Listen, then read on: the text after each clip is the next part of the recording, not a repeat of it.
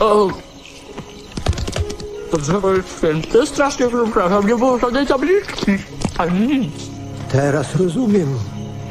Kiedy się martwisz, zaczynasz jeść. Martwy?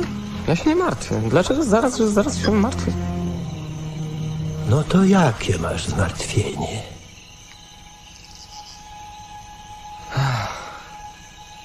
Wyszedłem dzisiaj na największą lebiegę w dziejach całego kung fu. Największą w Chinach. Największą na świecie.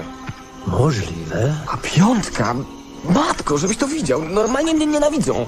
normalnie. Jak Shifu niby miałby zrobić ze mnie smoczego wojownika? Ja nie mam tak łatwo jak tamci. Nie mam pazurów, skrzydeł albo jadu. Nawet modliszka ma te swoje rączki. Chyba sobie odpuszczę i zajmę się gotowaniem klusek. Odpuścisz, nie odpuścisz. Kluski, nie kluski. Za bardzo się przejmujesz tym, co było, wiesz? I tym, co będzie też. Jest takie przysłowie. Wczoraj to już historia. Jutro to tajemnica. Ale dzisiaj to dar losu. A dary są po to, żeby się nimi cieszyć.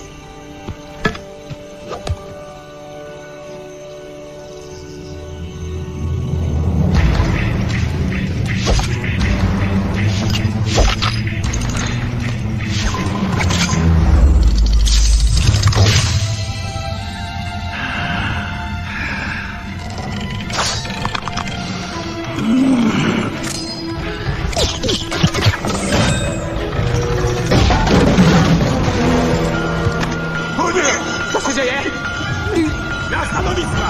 Yo!